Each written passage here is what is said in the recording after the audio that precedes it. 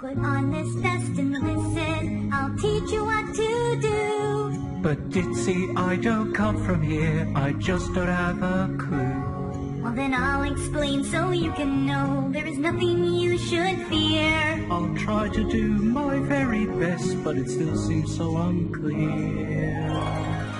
Here we have to welcome spring and all things warm and green. But how can you even start with that? How do I help? I'm no pony. What am I supposed to do? It all seems strange and very awkward. Don't worry, I'll help you. Winter wrap up, winter wrap up.